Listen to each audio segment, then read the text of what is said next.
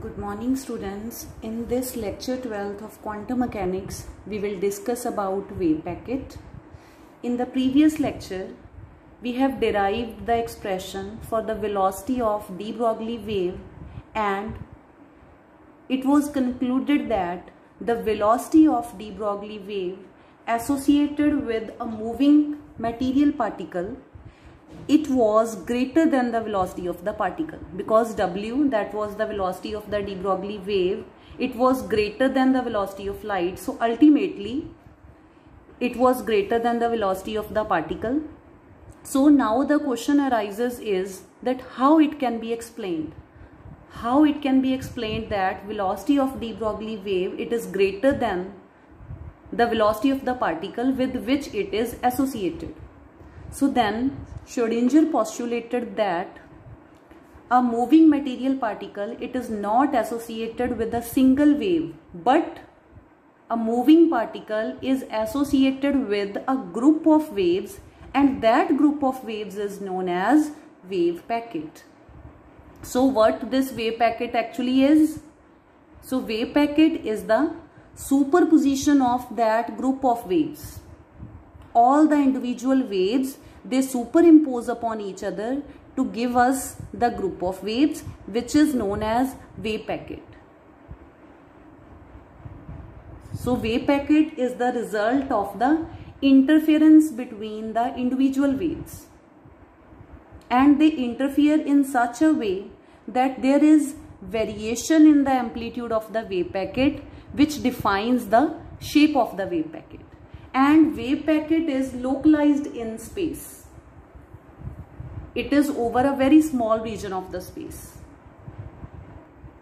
So this is the figure of wave packet which is the result of superposition of or interference of various individual waves where the amplitude is maximum there is constructive interference and where the interference uh, amplitude is minimum there the interference is destructive interference. So what is wave packet? Wave packet is actually a type of wave motion in which the amplitude of the wave it is very large over a small region and it is negligibly small in the rest of the space. जो wave packet है it is a type of wave motion in which जो amplitude of the wave है it is very large over a very small region and in the rest of the space the amplitude is very small. And the amplitude of each of the wave in the group it is so chosen that all the waves they undergo constructive interference over a very small region. And the particle with which this wave packet is associated, it always lies inside this wave packet. So it can be somewhere here in this wave packet. So there is certain amount of uncertainty in the position of the particle. If delta x is the length of this wave packet, then what will be the uncertainty in measuring the position of the particle? That is delta x because it can be found anywhere inside this wave packet. So, we cannot specify the position of the particle precisely. So, we will discuss about its probability. So, that's why in quantum mechanics, we discuss about the probability of finding the particle. So, here as we know that particle it always lies inside this wave packet but at some points its probability will be maximum and at other points its probability will be minimum. So here we have the amplitude of the wave it is large. So the probability of finding the particle it is maximum where the amplitude of the wave packet is large. And probability of finding the particle is minimum where the amplitude of wave packet is small. So particle, the probability of finding the particle is somewhere here where the amplitude is large. Now when Schrodinger postulated that a group of waves is associated with the material particle instead of a single wave then now when the velocity of this wave packet was calculated, it came out to be equal to that of the velocity of the material particle with which it is associated. So now we will discuss about wave velocity and group velocity. So what is this wave velocity? As we know that there are number of waves in the wave packet and each wave has its different speed, different velocity and different wavelength. So the velocity of the individual wave in the wave packet that is known as wave velocity or phase velocity. It is given by Vp. Me. P means P stands for phase, V stands for velocity and it is given by nu into lambda as we know that C is equal to nu lambda. So here Vp will be nu lambda. Then we have multiplied with 2 pi and divided it by 2 pi. 2 pi nu is angular velocity omega and 2 pi by lambda is wave number k. This wave number k it is the number of waves per unit distance. So basically phase velocity it is the ratio of angular velocity to the wave number. Vp is omega by k. Next is group velocity. As the name indicates it is the velocity of the wave packet that is known as group velocity or you can say that it is the velocity of the group of the waves associated with the material particle which is moving with velocity v and it is given by vg which is equal to d omega by dk. And next now we will prove that this vg it is equal to v. We will prove this that velocity of this wave packet it was it came out to be equal to that of velocity of the material particle with which it was associated and before proving this Vg is equal to V, I will show you that how the two waves, the group of two waves after interference, after superposition give rise to the wave packet. So to show the wave packet, first of all, consider that our wave packet, it is it arises from the combination of two waves. We are considering two waves because the combination of two waves is the simplest one. So suppose we have two waves having same amplitude but different angular velocity and different wave number. And the difference in angular velocity and wave number, it is very small. That is d omega is the difference in the angular velocity of the two waves and dk be the difference in the wave number in case of two waves. So the displacement of the two waves is given by y1 and y2 having same amplitude a. Cos omega t minus kx it is the equation of displacement of first wave and suppose this is the equation of displacement of the second wave. Difference in angular velocity is d omega c and the difference in the value of wave number is dk here.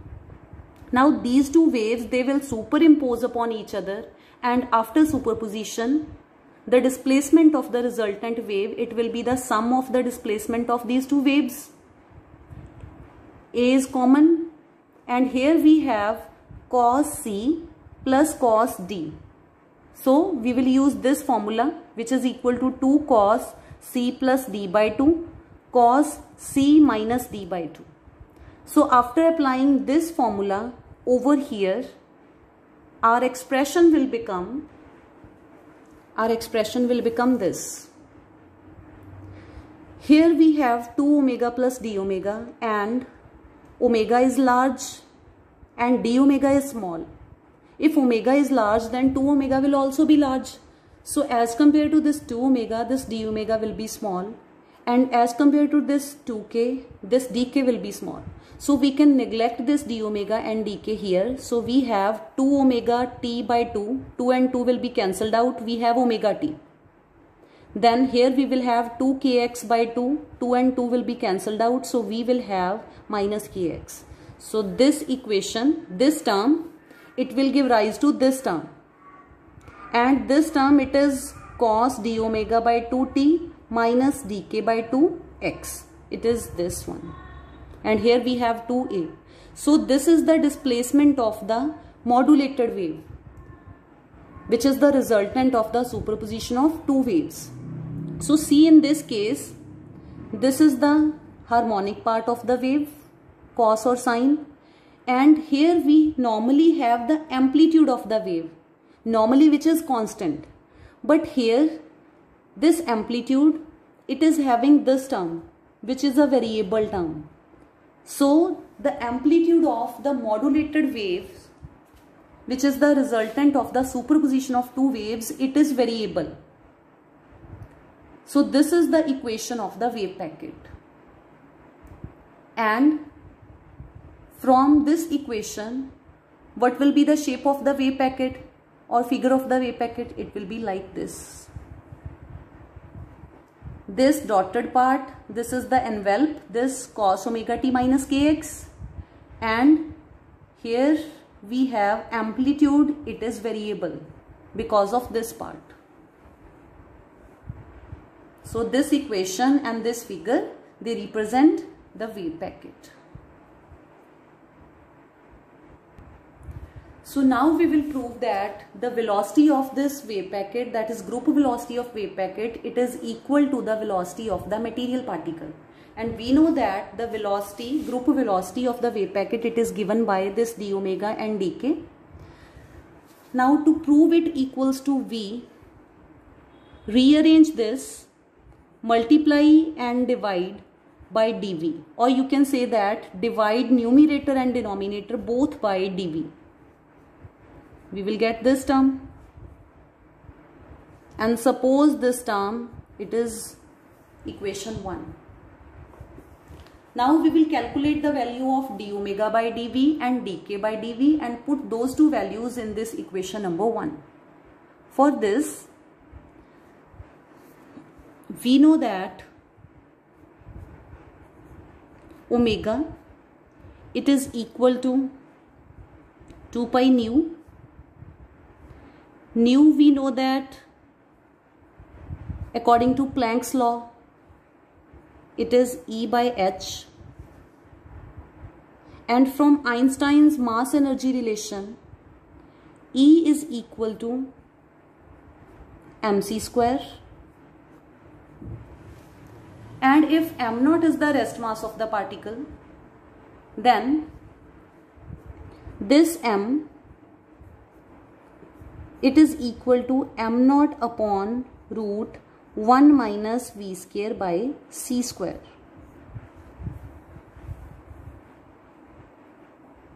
So we have this omega it is equal to 2 pi m naught c square by h 1 minus v square by c square raised to power minus 1 by 2.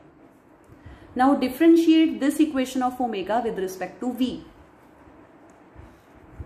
Differentiate this equation with respect to v. So it will be like this. We have differentiated it with respect to v on both sides and we will get d omega by dv it is equal to 2 pi m naught c square by h all these are constants differentiation of this will be minus half 1 minus v square by c square raised to power minus half minus 1 it will be minus 3 by 2 now differentiation of this. Differentiation of 1 is 0 minus 1 by c square is constant. Differentiation of v square will be 2v. So this 2 and 2 will be cancelled out. This minus and minus, minus into minus will be plus. and we have this c square. It will be cancelled out with this c square and we will have d omega by dv it is equal to 2 pi m naught v upon h into 1 minus v square by c square minus 3 by 2. So, this d omega by dv that is numerator of equation 1 we have calculated. Suppose this as equation a. Now we will calculate dk by dv. Now we will calculate dk by dv. So to calculate dk by dv we know that k wave number k it is equal to 2 pi by lambda. And as we are discussing about de Broglie wave so wavelength of de Broglie wave lambda it is equal to h by mv so we have 2 pi by h into mv and m m is the relativistic mass of the particle. So this k it will be 2 pi by h v m can be written as m naught upon root 1 minus v square by c square.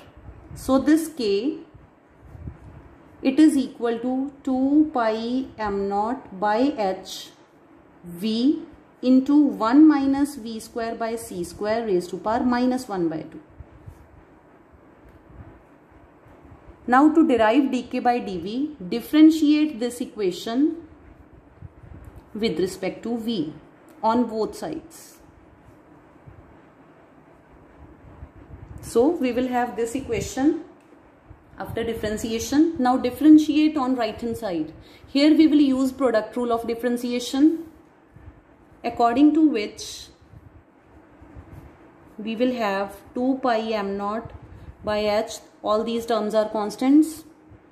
So according to product rule of differentiation first suppose this v as constant. At that time differentiation of this it will be minus half 1 minus v square by c square raised to power minus 3 by 2 then differentiation of this bracket differentiation of 1 is 0 minus this v square by c square is 2v by c square. Now plus now we will take this term as constant we will write this term as it is now differentiation of v with respect to v, it will be 1. So now solve this. This 2 and this 2, it will be cancelled out. This minus into minus, it will be plus. This v into v, it will be v square. So we will have dk by dv, it is equal to 2 pi m naught upon h v into v is v square by c square into 1 minus v square by c square raised to power minus 3 by 2 plus 1 minus v square by c square raised to power minus 1 by 2.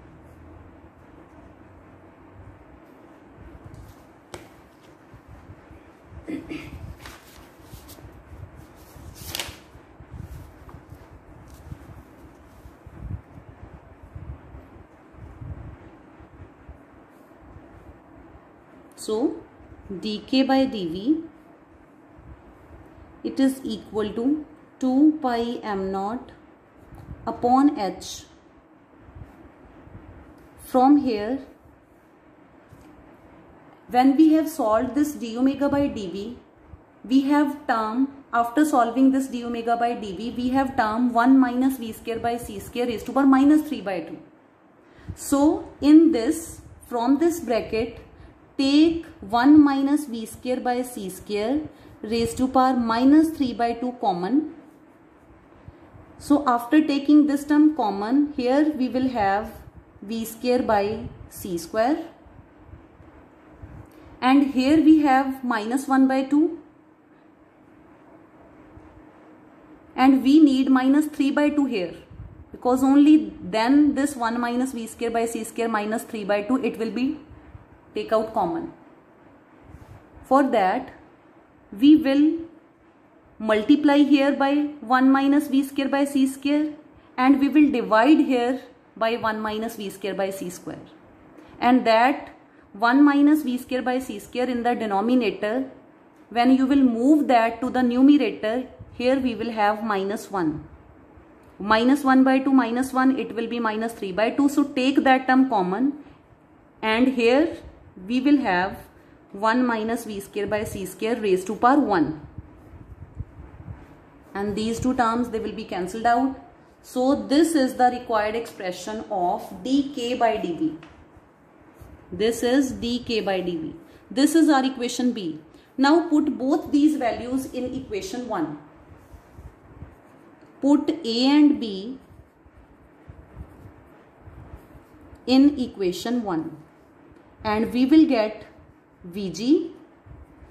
It is equal to you'll see this 2 pi m naught it will be cancelled out with value of d omega by dv it was 2 pi m naught by h v into 1 minus v square by c square raised to power minus 3 by 2 it is the value of d omega by dv divided by dk by dv it is 2 pi m naught by h 1 minus v square by c square raised to power minus 3 by 2. So here these terms are cancelled out. This is cancelled out. So we have Vg it is equal to V. So we have proved that the group velocity of the de Broglie wave it is equal to the velocity of the particle with which it is associated. This is very important.